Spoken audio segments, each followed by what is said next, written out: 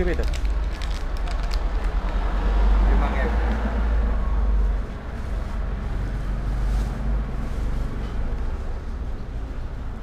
Ini gitu. Iki.